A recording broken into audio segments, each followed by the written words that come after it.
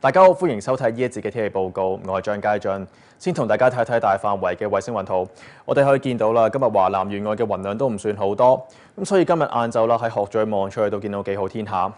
咁其實咧香港啦，依家係受到一股西南氣流影響，今日天氣咧都幾熱下㗎。市區嘅最高氣温啊都上到係三十二度左右，而新界咧就再高一兩度。不過與此同時啦，一啲同西南氣流相關嘅雨區啦，今日晏晝啦，由珠江口西部啦開始橫過香港，而截至到晏晝四點鐘啦，晏晝香港多處地方咧都錄得超過五毫米雨量㗎。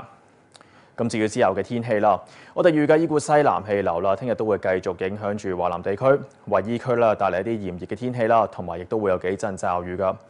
咁之後啦嘅隨後一兩日啦，隨住呢個西南氣流變得活躍啦。廣東沿岸地區嘅驟雨咧會增多咯，同埋會有狂風雷暴，風勢力都頗大。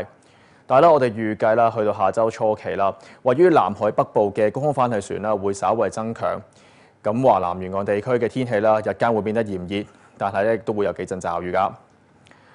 咁之後今晚同明日嘅詳細天氣預測啦，係大致多雲，有幾陣驟雨同埋雷暴。聽朝早驟雨會較多，最低氣温咧係會喺二十七度左右。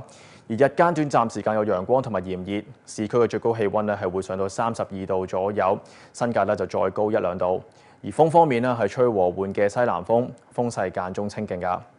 至於展望啦，我哋預計啦星期五同埋星期六啦間中係會有驟雨同埋會有幾陣雷暴，而隨後嘅一兩日啦仍然都係會有幾陣驟雨，日間天氣咧又會炎熱㗎。咁今次嘅天氣節目咧就嚟到呢度，多謝大家收睇，再見。